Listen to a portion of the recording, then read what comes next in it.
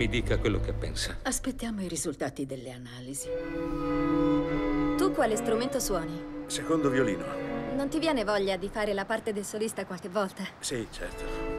Ho parlato con la dottoressa Nadir per dei disturbi che ho avuto ultimamente. È Parkinson, ha detto. Parkinson.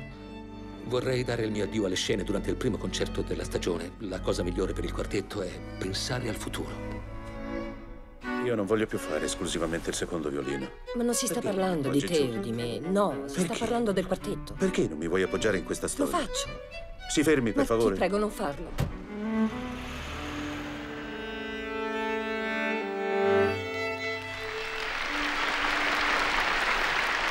Cominciamo dall'opera 131 di Beethoven. Contiene sette movimenti e sono tutti collegati.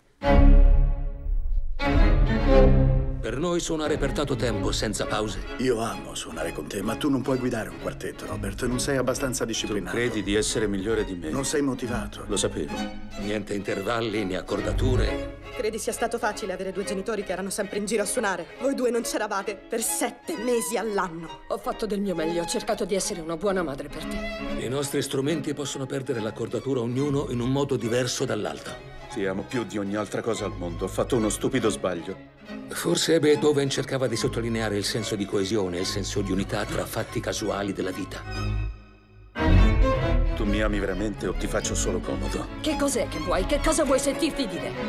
Di che cosa hai paura? Libera la tua passione!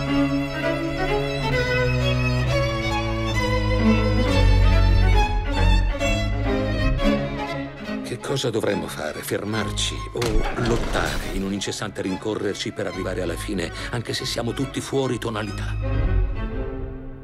Non lo so.